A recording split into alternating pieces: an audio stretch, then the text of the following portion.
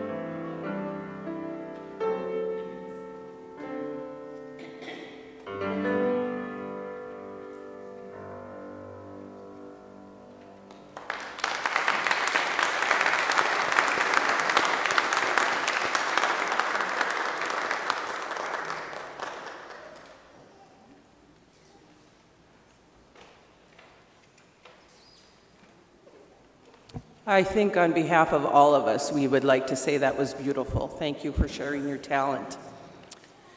The first le- lesson today is from Isaiah chapter 56, verses 1 and 6 through 8.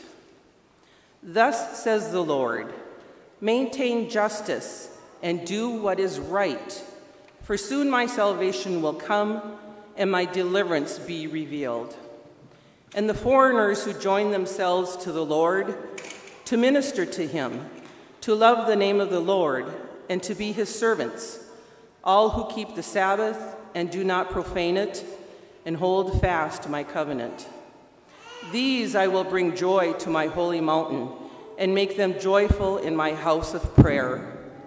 Their burnt offerings and their sacrifices will be accepted on my altar. For my house shall be called a house of prayer for all peoples. Thus says the Lord God, who gathers the outcasts of Israel I will gather others to them besides those already gathered. Word of God, word of life. Thanks be to God. Our psalm is 67, and we will read that responsively. May God be merciful to us and bless us. May the light of God's face shine upon us. Let, Let your way be known upon earth, your saving health among all nations. Let the peoples praise you, O God. Let all the peoples praise you. Let the nations be glad and sing for joy, For you judge the peoples with equity and guide all the nations on earth. Let the peoples praise you, O God. Let all the peoples praise you. The earth Has brought forth its increase. God, our own God, has blessed us. us. May God give us blessing, and may all the ends of the earth stand in awe. The second lesson is from the book of Romans, chapter 11, verses 1 through 2a, and 29 through 32. Paul writes, I ask then, has God rejected his people? By no means.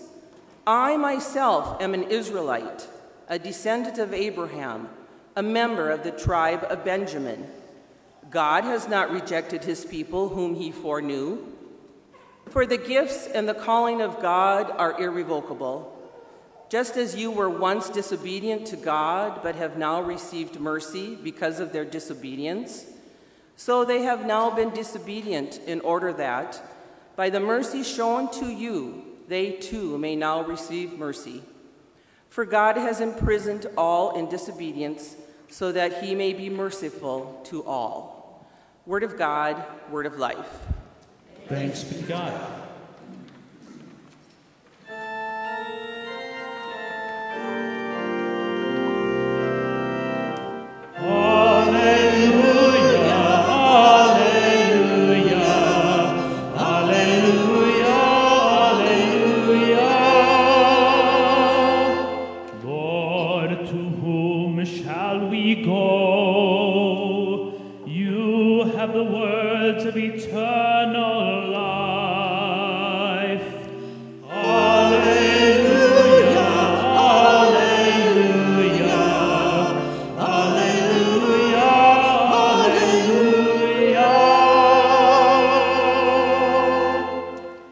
Holy Gospel according to St. Matthew, the 15th chapter.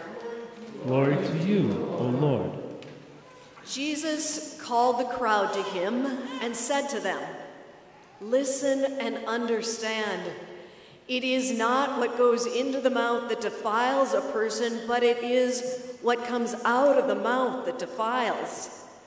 Then the disciples approached him and said to him, Do you know that the Pharisees took offense when they heard what you said? He answered, Every plant that my heavenly Father has not planted will be uprooted. Let them alone. They are blind guides for the blind. And if one blind person guides another, both will fall into a pit. But Peter said to him, Explain this parable to us. Then Jesus said, Are you also still without understanding? Do you not see that whatever goes into the mouth enters the stomach and goes out into the sewer? But what comes out of the mouth proceeds from the heart, and this is what defiles. For out of the heart come evil intentions, murder, adultery, fornication, theft, false witness, slander. These are what defile a person, but to eat with unwashed hands does not defile. Jesus left that place and went away to the district of Tyre and Sidon. Just then, a Canaanite woman from that region came out and started shouting, Have mercy on me, Lord, son of David. My daughter is tormented by a demon. But he did not answer her at all. And his disciples came and urged him, saying, Send her away, for she keeps shouting after us. He answered, I was sent only to the lost sheep of the house of Israel. But she came and knelt before him, saying, Lord, help me. He answered, It is not fair to take the children's food and throw it to the dogs. She said, Yes, Lord, yet even the dogs eat the crumbs that fall from their master's table. Then Jesus answered her, Woman, great is your faith. Let it be done for you as you wish. And her daughter was healed instantly. The Gospel of the Lord. Praise to you, O Christ. And please be seated. Well, friends, the end of the summer is rushing toward us as we join in a collective chorus of Where Did Summer Go? The consensus, especially in the upper Midwest, is that summer always goes by much too quickly. And I wonder about your summers. I wonder if it was filled with what you hope, if it missed the mark of your expectations, if it left you undone, or somewhere in between. As I think about summer adventures, one of the more interesting adventures to me that people take on during the summer is to visit a category of structures classified as world's largest. Now, you've no doubt been to some of these yourself. I think everyone in North Dakota and Minnesota has had a family photo taken in front of Babe and the Blue Ox in Bemidji. Or maybe, like United's middle school students this summer, you visited the world's largest buffalo in Jamestown, North Dakota. And I confess that our family has a photo from years ago in front of the world's largest prairie chicken in Rothsay, North. But, but, have you ever visited the world's largest pistachio in Alamogordo, New Mexico? A 30 foot green and white statue. Or maybe you've been waiting, yearning to see the world's largest ball of twine, located 30 miles south of Cawker City, Kansas, where visitors can actually add to the ball, which currently weighs 27,017 pounds. Now, I'm not exactly sure what the draw is to these world's largest sites. Maybe it's because they're surprising, because they defy reasonable expectations, but also delight us in their absurdity. Maybe, just maybe, we like to believe that more than we had ever imagined could be possible. This summer in our worship, we've been following Jesus and his disciples through the Gospel of Matthew. And it's been our summer adventure and everywhere that we follow Jesus, he invites us to travel with him into a bigger faith, a larger view of God, a welcome that stretches further than we had imagined. Through Jesus, we're invited to see the world's largest love, the love of God for each one of us and this world. And we're invited not only to gaze at it in amazement, but to take our parts in loving bigger and wider than we had ever thought possible. My sermon today is going to focus primarily on the second half of today's gospel reading, the story of the Canaanite woman in verses 21 through 28.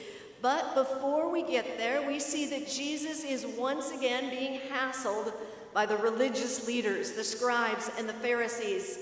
And this time, it's about what it is that makes someone clean or unclean. Hebrew law had a lot to say about how to stay away from all things unclean. And the list of unclean things was long, and it included everything from leprosy to shellfish. Somehow, the religious elite had managed to take the liberating law of God and turn it into an oppressive force in people's lives. And Jesus responds to the scribes and the Pharisees, challenging them to reframe what is clean and what is unclean. Jesus is clear with them that it's what's on the out it's not what's on the outside that makes someone unclean, but it is what comes out of the mouth. In other words, what you say and what you do is the clearest reflection of what resides in your heart. Now, just when Jesus had finished this teaching about what is unclean, along comes a woman considered to be unclean, and she's challenging him. And I think she's a fascinating person in so many ways. She's one of only two people in the Gospel of Matthew described as having great faith. The other is the centurion in chapter 8, both of them Gentiles. Jesus saying that she has great faith is all the more interesting because just last week we saw as Jesus looked at his disciple Peter, a Jew and a clear insider in the Jesus circle, and said just the opposite to Peter, Oh, you of little faith. Secondly, she's a Canaanite woman. And this means that she's a part of the indigenous population of the land. When the Hebrews landed in the promised land, her people were already there. And Matthew's genealogy of Jesus in the first chapter of the gospel includes two Canaanite women among Jesus' ancestors, Rahab and probably Tamar. And finally, she is persistent. She won't let go, she won't give up.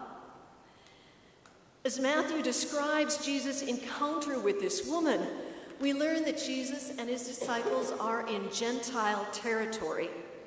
And as they go about their business, this Canaanite woman approaches them and starts shouting at them Have mercy on me, Lord, son of David. My daughter is tormented by a demon. And what happens next is both baffling and heartbreaking. Jesus hears, definitely hears the woman's cry, but he ignores her. This woman, however, is tenacious. She loves her daughter, she's desperate for help, and she's not afraid to make a scene. And so she keeps shouting until the disciples ask Jesus to please send her away. It's becoming a nuisance, embarrassing. Finally, Jesus looks at her and explains, I was sent only to the lost sheep of the house of Israel. And she falls to her knees, but still, Jesus doesn't help. Instead, he answers her with words that cut no matter how we try to soften them. It's not fair to take the children's food and throw it to the dogs. Are there ways around the awfulness of this moment? Maybe. Sometimes we forget that being God incarnate also means that Jesus was fully human. Maybe Jesus is tired and he wants a break from the relentless demands of ministry. Or maybe he's fed up with people begging him for gifts and favors. Or maybe he's simply describing the reality of his mission as he understands it at that point in time. Maybe it's just a test. I think these are all possibilities, but whatever the reason, Jesus' response and what the woman says next is remarkable. She replies, Yes, Lord. Yet even the dogs eat the crumbs that fall from the master's table. It's a brilliant response. And not the least of and not the least because it cuts to the very heart of Jesus' boundary breaking, taboo busting, division destroying ministry of table fellowship. After all, Jesus is the Messiah who eats with tax collectors and prostitutes. He's the rabbi that breaks bread with sinners. The table is precisely where Jesus shows the world who God is and how God works again and again. And so it is the table that is precisely where this outsider calls Jesus out, as if to say to him, Where's my place at this table? Isn't your goodness also good news for my daughter and me as well? And I wonder, in that moment, did everyone just hold their breath to see how Jesus would respond to her? Barbara Brown Taylor describes the next moment this way. You can almost hear the huge wheel of history turning as Jesus comes to a new understanding of who he is and what he's been called to do. Jesus, who never loses a verbal contest to anyone else in Scripture, sits back in amazement and concedes the argument to this audacious foreigner. Woman, he says, great is your faith. Let it be done for you as you wish. And her daughter is healed instantly. What a story. And it all has me asking, what does it mean for us, for you and I, to follow in the footsteps of Jesus who listens to the challenge of the outsider? Jesus humbles himself long enough to listen, really listen to her and learn from her, a vulnerable outsider. And if this is what Jesus does, should we be doing anything less? Jesus demonstrates here a kind of listening and learning that should humble us. Jesus has shown us that we can grow into a wider, more inclusive understanding of God's love by listening to the outsider. When I look at our congregation, United Lutheran, I'm grateful for the ways I see you welcoming and listening to the people who aren't in the pews or on our membership rolls, those who might be considered outsiders. Throughout the month of August, we've welcomed our community to come have lunch with us, to enjoy our gardens, and we've learned, we've been changed. We've learned that our neighbors are much more diverse group of people than our congregation. We've learned that being poor is hard, and we've learned from their gratitude and their struggles. For nearly two decades, our congregation has been sending groups to Tanzania. And without a doubt, these Tanzanians are our siblings in Christ. And yet, in so many ways, their lives are so very different from our own. And we've learned from them a faith and generosity in the midst of poverty and hardship that in so many ways leaves us saying simply, Great is your faith. This congregation sent a group of high school students and adults on a trip to Denver, Colorado in July. And they spent their time with diverse communities and they listened deeply. They learned from Tiger, who provides brand new shoes to people who are experiencing homelessness. They heard from indigenous elders about caring for the land. They saw God in them all. In all these ways and more, our lives are enriched and we experience the gospel in more expansive ways because of the insight of outsiders. As we learn to love others more expansively, especially those who are different from us, we're also learning to love ourselves more fully. As we open ourselves to those who are considered outsiders, we come to experience more fully the expansive love of God. For we are followers of Jesus, the one who opened his arms wider and wider until there was room for the whole world in them, who opened his arms wider and wider until he allowed his hands to be nailed open on a cross. In Jesus, God showed us the world's largest love. Jesus was changed by this Canaanite woman. And this kind of love, love that's open to the outsider, holds the power to transform us and this world. In the words of Mother Teresa, we have forgotten that we belong to each other. And this lapse of memory has caused deep fractures and allowed fear and hatred and division to infect our lives together. We've become disconnected from one another and from our very selves. But Jesus gives us another way. He invites us into relationships that can heal the brokenness of our lives by crossing dividing lines of race, gender, religion, orientation, ability, and class. Jesus leads us into relationships that are marked by love and connection and a belief in abundance.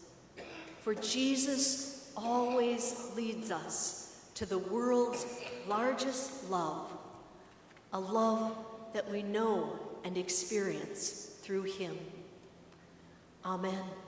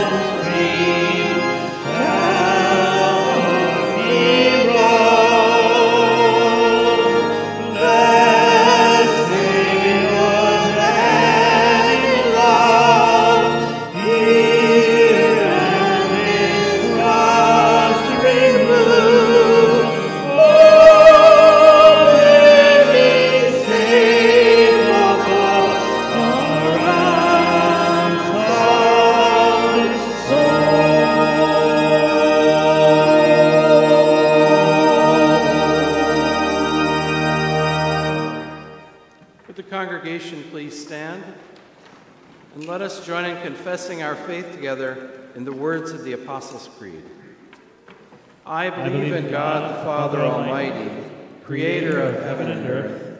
I believe in Jesus Christ, God's only Son, our Lord, who was conceived by the Holy Spirit, born of the Virgin Mary, suffered under Pontius Pilate, was crucified, died, and was buried. He descended to the dead. On the third day he rose again. He ascended into heaven. He is seated at the right hand of the Father and he will come to judge the living and the dead. I believe in the Holy Spirit, the holy Catholic Church, the communion of saints, the forgiveness of sins, the resurrection of the body, and the life everlasting. Amen. Confident that God receives our joys and concerns, let us offer our prayers for the church, those in need, and for all of creation.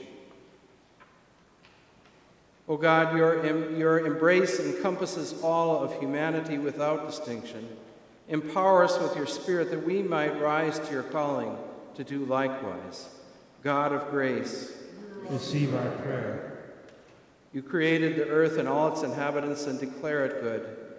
We ask that you would bring rain upon those areas of the United States and Canada that are now endangered by wildfires. Protect those in the southwest of flooding and damaging winds. Care for all, God of grace. Receive our prayer. You call leaders to bridge differences and practice generosity. Inspire all in authority to protect people in harm's way.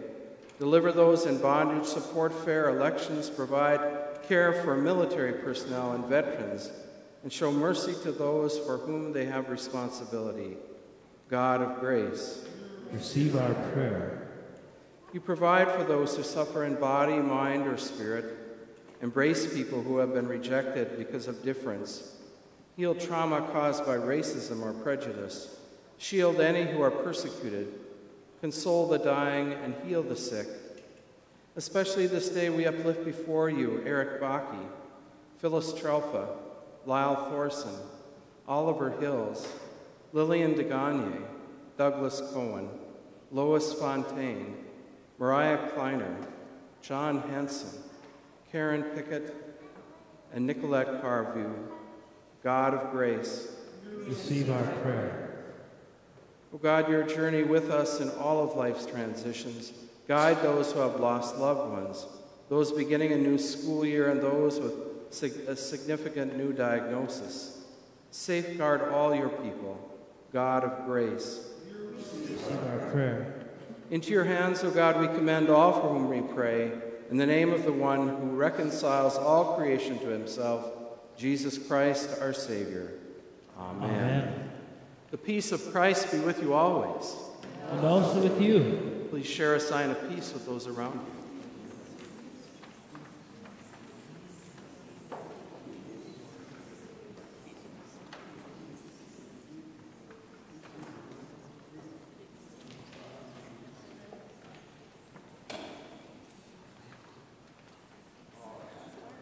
You may be seated as we receive our morning offering.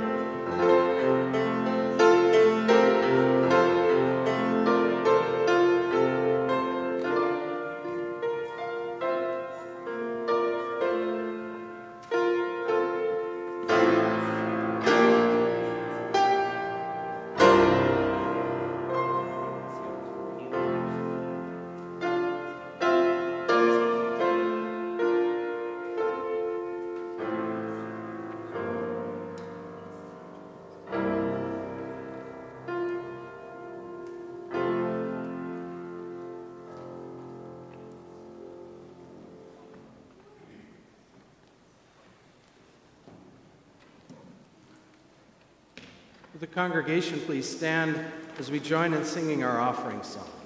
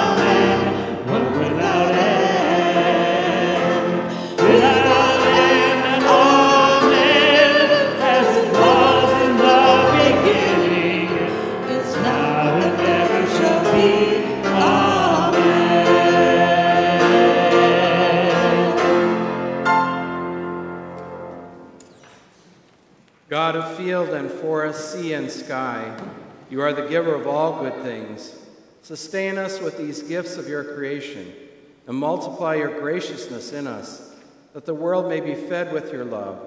Through Jesus Christ, our Savior and Lord. Amen. Amen. The Lord be with you. And also with you, Lift up your hearts. we lift them to the Lord. Let us give thanks to the Lord our God. It is right to give our thanks and praise.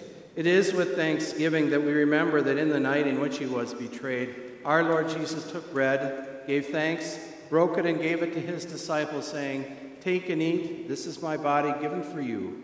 Do this for the remembrance of me.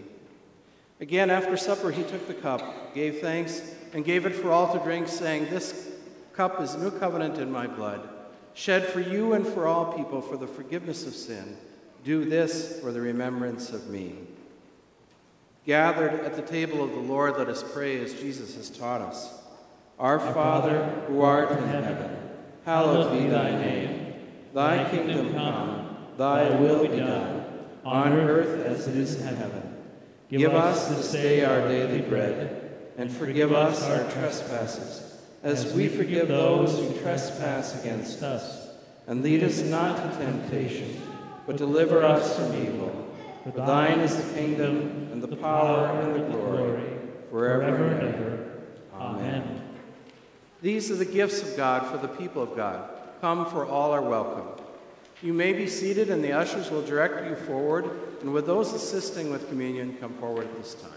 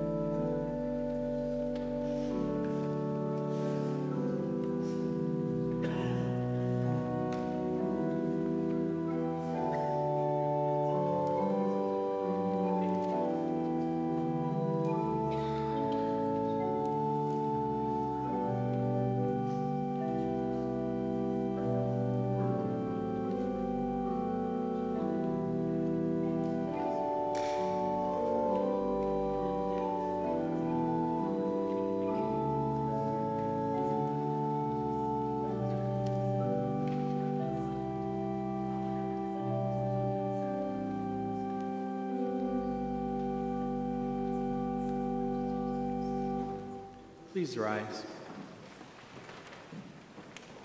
Now may the body and blood of our Lord Jesus Christ strengthen you and keep you in God's grace this day and always. Amen. Amen. We thank you, generous God, for the refreshment we have received at your banquet table. Send us now to spread your generosity into all the world through the one who is our dearest treasure, Jesus Christ, our Savior and Lord. Amen. Amen. Receive the blessing. The God who calls us across the cosmos and speaks in the smallest seed, bless, keep, and sustain you now and to the end of the age. Amen. Go in peace, Christ is with you. Thanks be to God. And we joining in our closing hymn number 886 in your red hymnals.